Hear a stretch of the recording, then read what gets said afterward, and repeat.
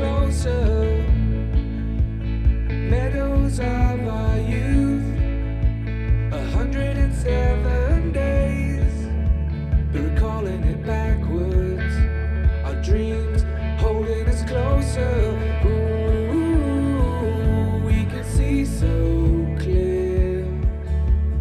Buenos días chicos, ¿qué tal estáis? Hoy os voy a enseñar un lugar muy especial para mí y es que estamos en mi ciudad natal, Badajoz, y vamos a conocer uno de los lugares más importantes y menos conocidos de España, como es la Alcazaba de Badajoz, la muralla árabe más grande de Europa.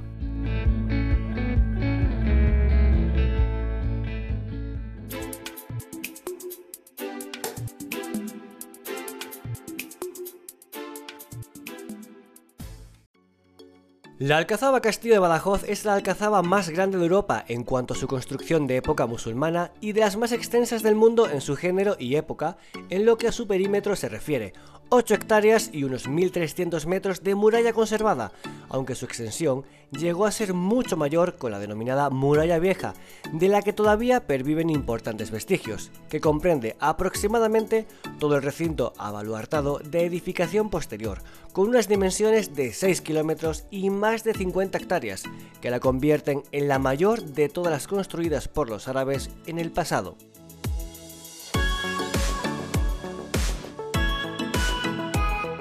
Al norte está rodeada por el río Guaviana y al este por el arroyo Ribillas.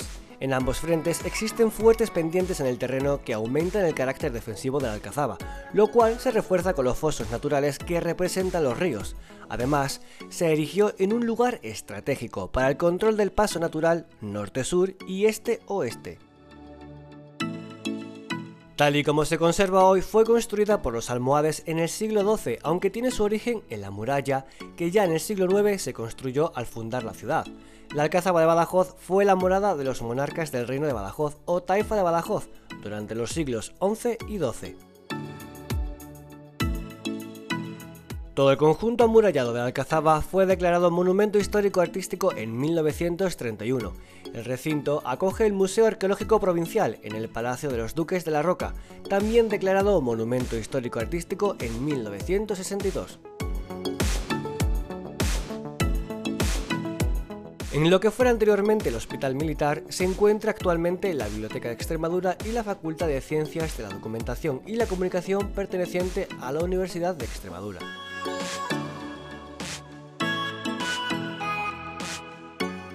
Se puede constatar que la Alcazaba de Badajoz no solo es la más grande de España, sino que además es la mayor de Europa y de las más grandes del mundo en lo que a su perímetro y superficie se refiere.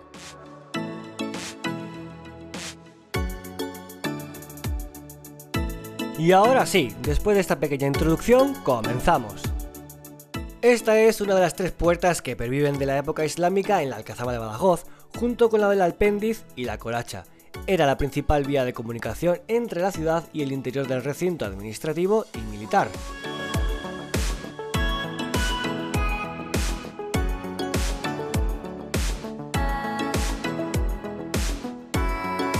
Este tipo de entrada en forma de recodo es típica de las construcciones almohades. Tiene una estructura con dos puertas orientadas en ángulo de 90 grados con respecto a la otra, separadas por un pequeño patio.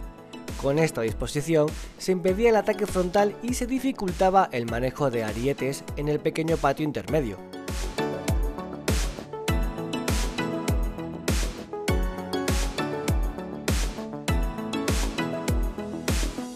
Por otra parte, se facilitaba la resistencia desde la muralla, pues era posible la defensa simultánea desde los cuatro lados si los atacantes entraban en el patio interior.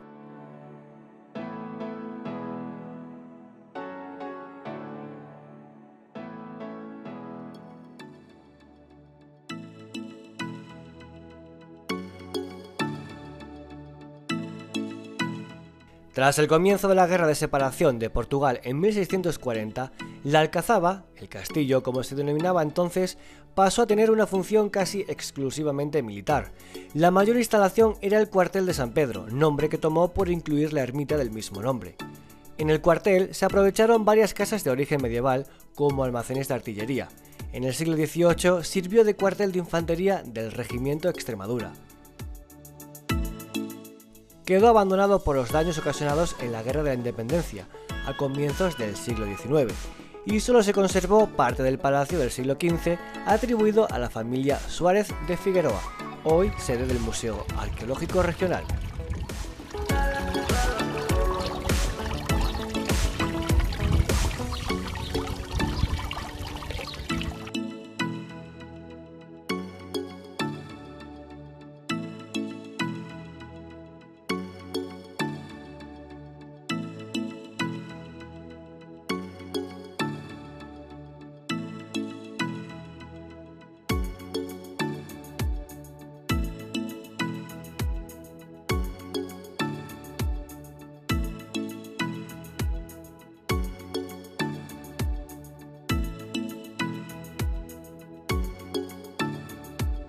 La Puerta de Yelves, el nombre castellano de Elvas, se edificó durante la ampliación almohade de la muralla de Alcazaba de 1169.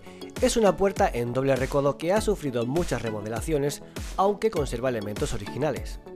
En el siglo XVII fue necesario abrir en la muralla un nuevo paso directo para que accedieran los carros de artillería y pertrechos al interior del recinto de la Alcazaba, que se denominó desde entonces Puerta de Carros.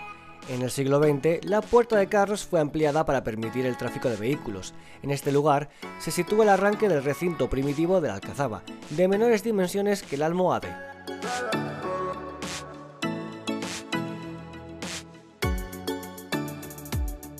La denominada Torre de la Horca es una de las más reconocibles de la Alcazaba de Badajoz. El nombre de la torre procede de la creencia popular de que era utilizada para ejecutar las penas de muerte por ahorcamiento, de lo que sin embargo no hay constancia histórica. A partir del siglo XVII se utilizó su habitáculo como parte del cuerpo de guardia que servía para el control de acceso a la Alcazaba y para la vigilancia de la cercana batería del Rosario. Posteriormente, tras el abandono militar del castillo, fue ocupada como vivienda hasta finales de los años 60 del siglo XX.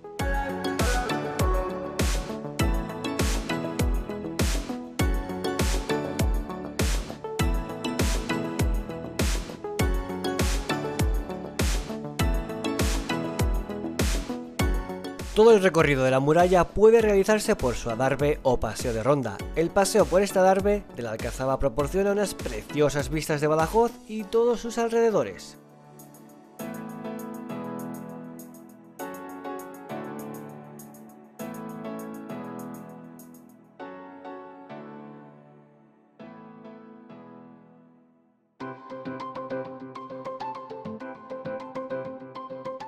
A partir del siglo XVI, la aparición de la artillería originó cambios drásticos en las tácticas militares, tanto ofensivas como defensivas.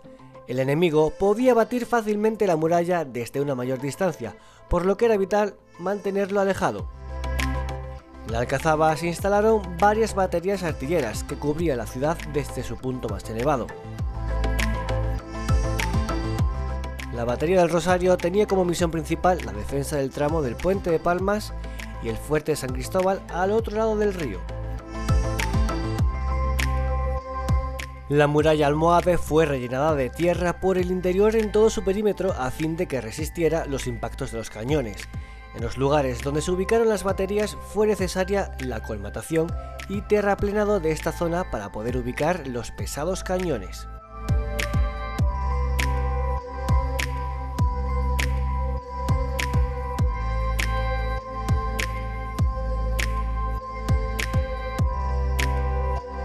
La puerta de la Coracha se edificó en época almohade, como las del capitel y del alpéndiz, pero a diferencia de estas no es una entrada en recodo, sino una puerta de acceso directo al interior, ya que este sector contaba con la defensa natural del río Guadiana. Su función original era proporcionar un acceso al río para facilitar el acopio de agua para la población. Para proteger el paso al río y también para tomar el agua directamente existía un muro perpendicular a la muralla, que era la coracha propiamente dicha, que llegaba hasta el río. Este muro conectaba con el adarve principal y por el otro extremo terminaba en una torre hoy desaparecida.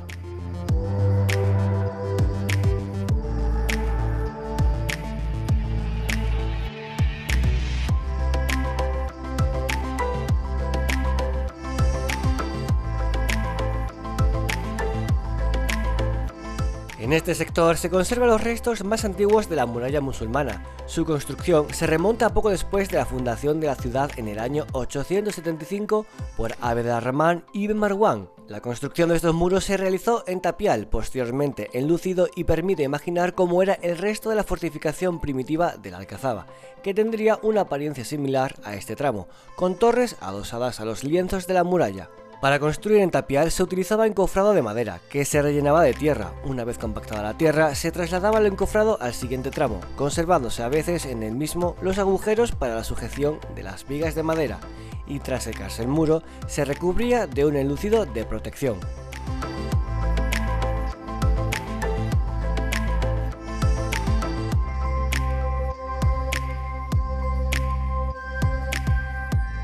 La puerta del apéndice original era una puerta directa flanqueada por torres semicirculares. En época almohade se transformó con la construcción de una nueva torre en una puerta en recodo. Tras la construcción en el siglo XVII de la nueva muralla abaluartada de Badajoz, que se unía al recinto de Alcazaba en la puerta del Alpendiz, esta quedó cerrada y enterrada y se abrió una nueva puerta al norte de la torre del mismo nombre.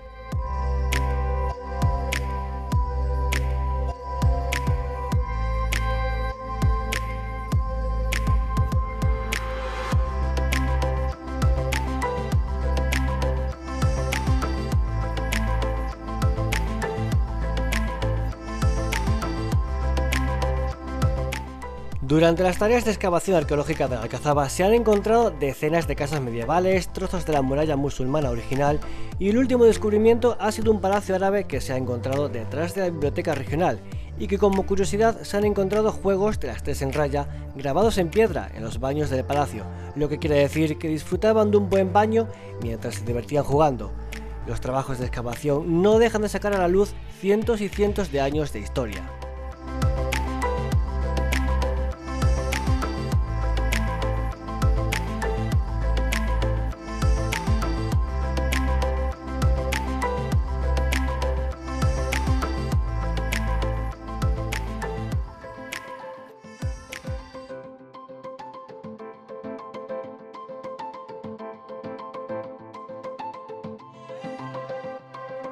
Se la conoce popularmente como Torre de Espantaperros por la campana que daba las horas en época moderna. Se trata de una torre albarrana, que significa separada de la muralla, construida durante la ampliación almohade para defender uno de los flancos más desprotegidos de la Alcazaba. Tiene planta octogonal y está construida en tapia, con tierra pisonada. Hasta la altura del paso que la une la muralla es maciza y el templete mudéjar que corona la torre es posterior y envuelve a otro más antiguo de época islámica. El modelo de construcción utilizado por los almohades en esta torre se utilizaría también en otros lugares de la península y en el norte de África.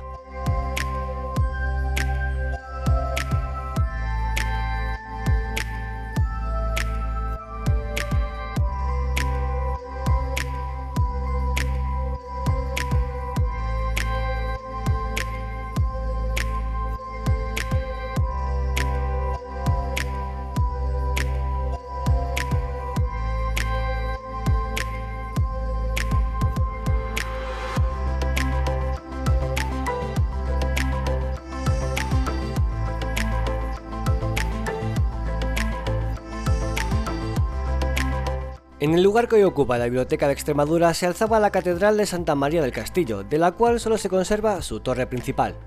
Tras la toma de Badajoz por las tropas del rey leonés Alfonso IX, en 1230 la mezquita que aquí había se convirtió en la primera catedral de la ciudad. Pocos años después se edificó la actual Catedral de San Juan Bautista extramuros de la Alcazaba.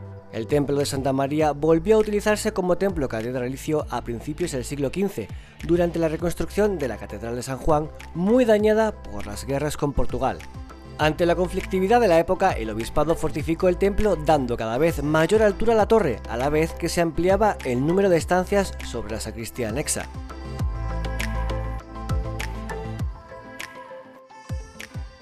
Bienvenidos a la Plaza Alta de la ciudad de Badajoz, que fue centro neurálgico de la misma durante mucho tiempo cuando la zona de la Alcazaba empezó a quedarse pequeña.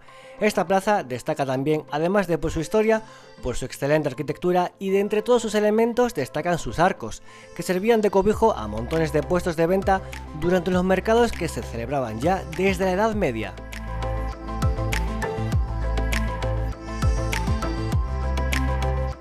Plaza Alta además se encuentra rodeada de muchos otros edificios y puntos destacados, por lo que su visita suele ser un imprescindible de cualquier ruta por la ciudad que se precie.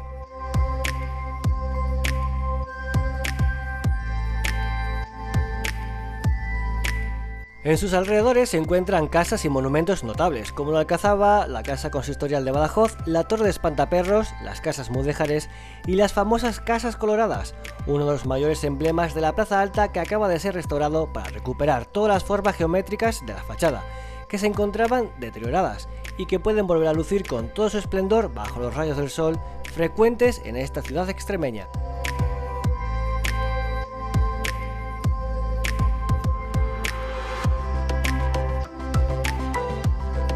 Es muy probable que la Plaza Alta utilizase el emplazamiento que antaño habían tenido los cascos islámicos que rodeaban la Alcazaba.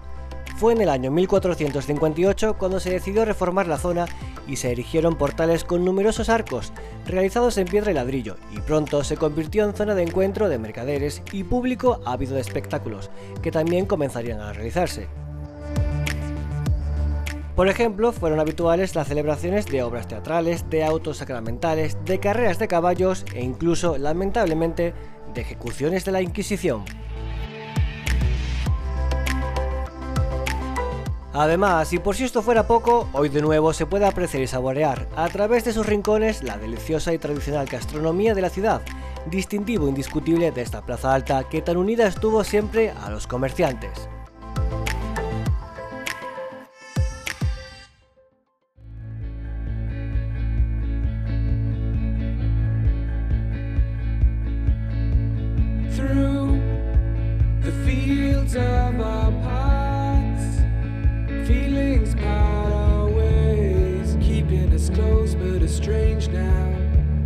Y bueno chicos, hasta aquí este vídeo tan interesante sobre un poquito de nuestra historia, de uno de los monumentos que muy poca gente en España conoce y que debería ser un punto obligatorio de visita turístico. Así que ya sabéis, venir a conocer Badajoz. Y dale al like si os ha gustado el vídeo, suscribíos si aún no lo estáis, compartidlo con vuestros amigos y como siempre muchas gracias por aguantar hasta el final. Adiós.